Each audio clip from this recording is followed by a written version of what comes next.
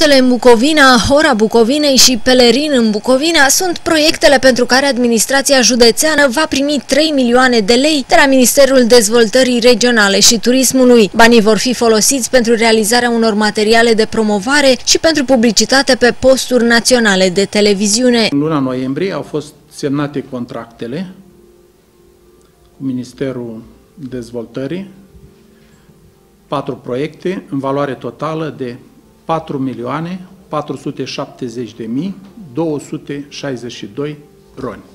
La toate aceste proiecte, contribuția proprie a Consiliului Județean este de 2%.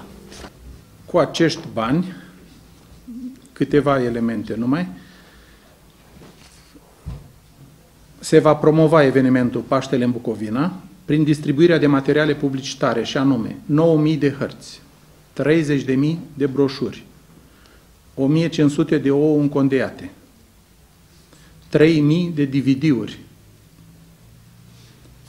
inscripționate cu un film de prezentare a evenimentelor specifice sărbătorilor pascale din această regiune.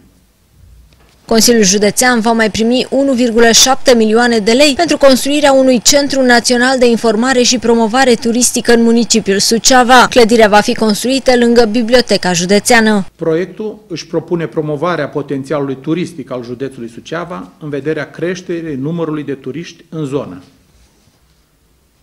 Dezvoltarea serviciilor de informare și promovare turistică la nivelul județului Suceava,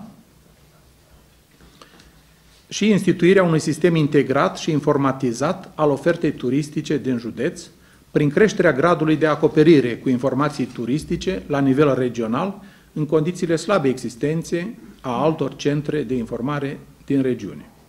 Asta înseamnă o clădire în care va funcționa o persoană și care va avea la, va avea la dispoziție o serie de dotări specifice prin care să poată informa. Dotări specifice centrelor turistice, PC-uri, imprimante, ecran de proiecție, videoproiector.